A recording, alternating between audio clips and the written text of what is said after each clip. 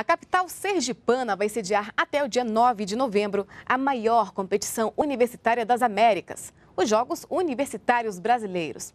A abertura foi ontem à noite em Sergipe. 3 mil atletas de 26 estados e do Distrito Federal devem participar das provas. São 11 modalidades esportivas.